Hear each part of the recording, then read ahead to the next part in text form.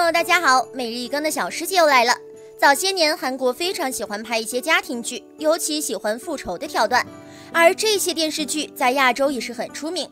二零二二年播出的韩剧《人鱼公主》就是一部很成功的家庭伦理剧，剧中的角色最后都收获了幸福。但十九年后，剧外几位主演们的生活却是各有各的悲伤。这期就让我们一起看看剧中主演们的现状吧。第一位，张瑞希是雅丽英。剧中张瑞熙饰演的雅丽英是一个充满心机、拥有双重人格的人，故意勾引同父异母妹妹的未婚夫，结果在复仇的过程中爱上了李朱旺，最后也化解了怨恨。一九七二年出生的她，十八岁那年就因出演电影《那女人》出道了。就在二零零二年，张瑞熙凭借《人鱼小姐》中敢爱敢恨的复仇女神，走红全亚洲。这个美艳不可方物的圆脸女演员，一颦一笑、举手投足都是美好的代名词。他用精湛的演技创造了当时的收视神话。这部戏当年有多火呢？张瑞熙一人独揽五项大奖，并被韩国文化观光部评为最佳韩流明星。而在这之后，他主演的韩剧《妻子的诱惑》也是大受欢迎。这部戏中，张瑞熙的表演可圈可点，整体来说收视率也是非常不错的一部。也因此，他一举斩获 SBS 演技大赏和大赏十佳明星奖。之后，张瑞熙还曾进军中国拍戏。可是语言不通，真的很难融入剧组，而这些作品也都反响平平。后来张瑞熙返回了韩国发展，在剧中的他表演也是很多人喜欢的。只是在这之后，很多人觉得张瑞熙的脸发生了改变，他因为做了调整，所以让脸部整体看起来还是有点怪怪的，也因此让他的资源变少。如今四十九岁的张瑞熙至今单身一人。接受采访时，张瑞熙表示说自己工作忙，很难兼顾工作和爱。这些年来，他几乎没有传过绯闻，感情状况成谜。不过此前，张瑞熙坦诚有偷偷谈过恋爱，但他从未公开过男友的身份。他期待自己能找到一位支持自己演员事业的伴侣，只是半生已过，他的灵魂伴侣又在何方呢？而他最近几年很少拍戏，最近一次拍戏还是2017年出演的 SBS 电视剧《姐姐风采依旧》。第二位金成明是李朱旺，而《人鱼小姐》中饰演男一号李朱旺的演员金成明最让人惋惜。从高中时就开始，金成明就以模特身份投身影视界，直到出道十年后，三十岁的金成明才出演了人生中第一部作品《人鱼小姐》。因为《人鱼小姐》的爆红，金成明一举夺得了2002年 MBC 演技大赏中的两项大奖，并顺势成为了韩国炙手可热的男星，相继出演多部著名电视剧《花王仙女》《幻想的情侣》。因为精湛的演绎，金成明一举拿下了 MBC 演技大赏中优秀男演员奖。他并不把自己的表演风格局限于某一范围，始终在探索中挖掘自己的潜力，拓宽戏路。《钻石的眼泪》中，他又出演了恶劣又残忍的反面人物。电影《头师傅一体三》里，金成明在片中饰演了黑帮组织成员上头。这些作品无不体现他作为演员的专业素质。之后，他的事业更一路高歌猛进。可就在2010年，爆出了其吸药的丑闻。同年十二月，金成明因为吸药被警方拘留。在接受调查时，他解释是因为事业投资失败导致抑郁症复发，所以才会吸药麻痹自己。因为认错态度良好，最终金成明被判刑两年六个月，缓刑四年。吸药事件后，金成明的事业一落千丈，与家里的关系也变得前所未有的紧张。在人生最失意的时候，他认识了年长自己四岁的牙医李汉娜，随后两人迅速成为了恋人关系，并在二零一三年结为夫妻。结婚之后，金成明和妻子以及妻子十多岁的儿子生活在一起，但婚姻生活似乎并没有给金成明带来太大的安慰。二零一五年，金成明又一次吸药被捕，并被判处十个月有期徒刑。最终，在吸药丑闻以及抑郁症的双重折磨下，二零一六年六月二十四日，与妻子发生争吵之后，金成明在家中的浴室自杀，年仅四十三岁。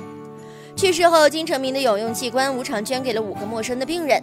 这样的善举也算是为他在世时犯下的罪做出了弥补。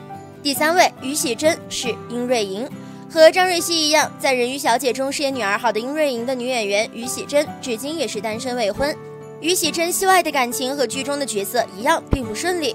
早在2000年，因为合作拍摄电视剧《那样的爱》，于喜珍结识了演员李成龙，并很快成为恋人。虽然于喜珍的事业正处于上升期，但是她却第一时间大胆示爱，公开了自己的恋情。之后，两人更是如胶似漆，成为了韩国娱乐圈出了名的模范夫妻。而这段刻骨铭心的恋情，于喜珍一谈就谈了十一年。就在大家等待他们的好消息时，两人却突然宣布了分手，结束了这段长达十一年的恋情。两人对外宣称是因为工作繁忙、聚少离多导致分手，但是大家却不相信。特别是在李成龙分手后的一年就另娶佳人，因此很多粉丝都觉得这场十一年的恋爱太不值得。他的时光似乎全丢在了大猪蹄子身上，可能就像演员阚清子在与纪凌尘恋爱长跑八年后分手，曾经点赞的一条评论所说的：“如果一个男的说暂时不想娶你，那他以后多半不会娶你。”让人心酸的是，很多女孩用眼泪和青春。最终教会了男孩如何去爱另一个人。恋爱不易，且行且珍惜。分手之后，于喜珍再未传出恋爱消息。如今四十六岁的于喜珍，每每被问到感情问题，都是自我调侃：没有合适的人出现，就会一直单身。而如今的于喜珍也渐渐失去了女主的戏份，开始出演一些配角。来了张宝丽中饰演披萨店老板李东厚的妹妹李正兰 h i l l e r 饰演大韩民国新闻社公共部部长姜敏在。在古装剧《步步惊心丽》中，她饰演的吴尚宫是个很为女主着想、善良及敢跟王后反抗的人。虽然戏份不多，但给观众留下了极深的印象。这不就在2021年的新剧《偶助人君》中，于喜珍也有精彩的演出。这次她扮演的是女主角的社长。第四位郑宝石是马马俊，郑宝石剧中扮演马马俊，马马俊是剧中的搞笑担当。他长得帅气，才能出众，是一个孝顺妈妈、疼爱妹妹、忠于妻子、对爱情执着的好男人。不同于于喜珍感情生活的不幸，在《人鱼小姐》中，饰演男二号的马马俊的郑宝石拥有一段幸福的婚姻。郑宝石的妻子是他的大学学妹齐明正。当时郑宝石是一名大四的学生，而对方刚刚步入大学。作为学长的郑宝石对齐明正一见钟情，第一眼就沦陷了。从以往的照片可以看出，双方是俊男美女的组合。郑宝石外貌俊朗，充满男子气概。果然，想要一见钟情，外貌是非常重要的。而他们在大学期间便开始交往。一九八九年，两人结婚。婚后，郑宝石和妻子先后迎来了两个儿子。如今，小儿子也已经快要三十岁了。而且更加令人意想不到的是，他是一位健美先生，身上的肌肉结实到令人吃惊的程度。在外貌上，儿子和郑宝石还是非常像的。郑宝石如今已经五十九岁了，但是依然活跃在荧幕上。近些年来，还出演了《王在相爱》《Mad Dog》《无理的英爱小姐十七》这几部作品。都展现了非常精湛的演技，但是其实让郑宝石红遍大江南北最著名的一部代表作，还是在一九九八年播出的《看了又看》。在剧中，郑宝石饰演的朴基正与金智秀饰演的银珠是一对恋人，结婚三十多年，郑宝石一直和合作的女星保持适当的距离，从未传出过任何绯闻，所以他和妻子的恩爱感情也一直为人津津乐道。近些年，五十九岁的郑宝石将重心从拍戏转到了公益慈善上。他探望非洲贫困区孩子的善举，还一度登上了韩网热搜。可以说，戏里戏外，郑宝石都是善良且值得托付的好男人。第五位，李在恩是马马玲，《人鱼小姐》中饰演马马琳的是演员李在恩。她处处羡慕瑞颖，看到瑞颖因体弱显得楚楚动人，怪妈妈是不是在怀自己时吃多了老山参。暗恋瑞颖的男友经常故意破坏他们的感情，集所有人的宠爱于一身，婚姻之路却充满坎坷。虽然在电视剧中马马琳刁蛮任性，不太讨喜，但是戏外的李在恩却是低调内敛的大才女。她也是通过童星出道，之后又从歌手转型为演员。拍摄《人鱼小姐》之前，李在恩也几乎在韩娱圈查无此人。但是这部电视剧大火之后，李在恩后续拍摄的电视剧都反响平平。所以在连续几部作品都收视一般后，李在恩将工作的重心从演戏转到了音乐剧领域。因此，他也遇到了他的良师李庆洙。李庆洙比其大九岁，他们通过音乐剧相识相恋，随后在2006年结婚。只不过结婚十一年之后，李在恩与丈夫因为矛盾不可调和，选择了离婚。如今四十一岁的李在恩也是单身一人。第六位全美善是尹胜美，全美善在《人鱼小姐》中饰演的女主角的闺蜜尹胜美，虽然在后面没有什么戏份，但这个角色依旧让人印象深刻。出道多年，全美善还曾出演过多部热播影视剧。其中最为显著的影视剧有《归来的黄金福》《大长今》《拥抱太阳的月亮》《杀人回忆》《八月照相馆》《五根手指》等等。而在《人鱼小姐》之后，全美善最为中国观众熟知的角色，应该是《请回答一九八八》中的中年陈宝拉。但这样一位戏骨级别的好演员，最终竟然会以自杀的方式结束自己的生命。二零一九年六月二十九日，全美善在韩国全州某酒店自杀身亡。随后，他的经纪公司解释称，可能是受到母亲重病和婚姻不幸的打击，再加上抑郁症的影响，所以全美善才选择了轻生。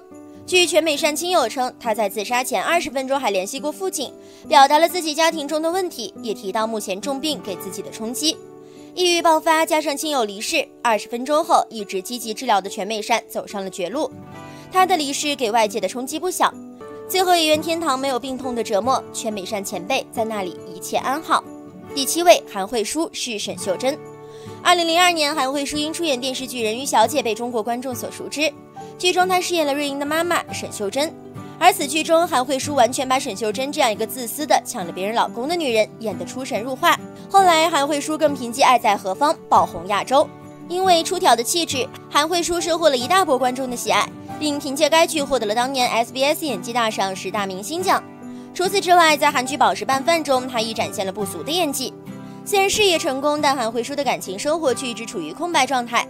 由于是一个家庭里的长女、大姐，自己的下面还有四个妹妹。后来父亲过世，韩慧书为了家庭养活了四个妹妹长大，而自己因此耽误了终身，一身未婚嫁。就在2009年后，韩慧书从此退出荧屏。此后，人们看到她公开场合亮相多是宗教活动。据悉，韩慧书信奉佛教多年，她甚至曾对身边的朋友说过：“如果我重生，一定会成为尼姑。”此外，韩慧书还曾经公开过自己未来的愿景，就是希望通过演戏挣钱，建一所寺庙，远离尘世的喧嚣。第八位，人鱼小姐编剧林晨汉。林晨汉的出道是在 MBC 电视台，因为一部叫做《仇敌》的甄选剧本而中选。一九九七年出道以后，第二年他就写出了大家看了又看的《看了又看》。此后，他每一部剧都是日剧，而且每一部的收视率都极高。不过，从《星际生传》到《欧罗拉公主》，很多林晨汉编剧的粉丝都感到这位编剧似乎在走火入魔。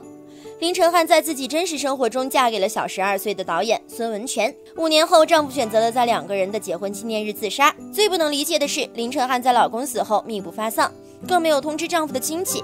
把自己的婚房卖掉以后，还是相熟的导演才向外界通知了这一悲剧的消息。之后，他复出写作了《小欧庭白夜》，因为让观众不适的剧情，在这部戏之后，一直很喜欢编剧的 MBC 与其解约。此后，林晨汉更消失了五年。